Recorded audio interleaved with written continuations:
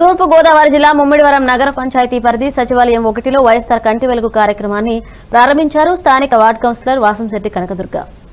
పైడెన్ శెట్టి ఫణి ఈ సందర్భంగా ఫణి మాట్లాడుతూ స్థానిక శాసనసభ్యులు పొన్నాడ వెంకట సతీష్ కుమార్ పుట్టినరోజు సందర్భంగా వైఎస్సార్ కంటి వెలుగు కార్యక్రమాన్ని తమ వార్డు పరిధిలో ప్రారంభించడం జరిగిందని పేర్కొన్నారు. వైఎస్సార్ కంటి వెలుగు కార్యక్రమంలో సుమారు యాభై మందికి కంటి పరీక్షలు నిర్వహించి ఉచిత మందులు అందజేశామని కళ్ళజోడు అవసరమైన వారికి ఉచితంగా కళ్ళజోడులు అందిస్తున్నామని కంటి ఆపరేషన్ అవసరమైన వారికి ఆపరేషన్కు ఉచితంగా పంపిస్తామని డాక్టర్ టిఎన్ రావు పేర్కొన్నారు. మున్సిపాలిటీ పరిధిలో అన్ని సచివాలయాల్లో రోజు విడిసి రోజు వైఎస్సార్ కంటి వెలుగు కార్యక్రమం నిర్వహిస్తామని డాక్టర్ తెలియజేశారు.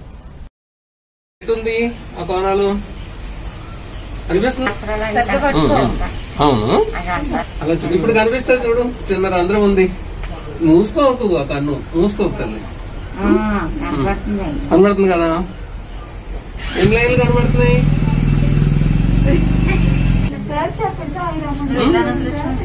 చూడండి.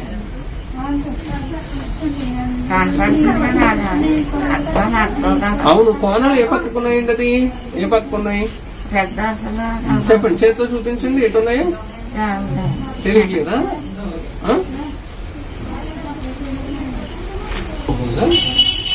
దెబ్బ తగిలిందా దీనికి?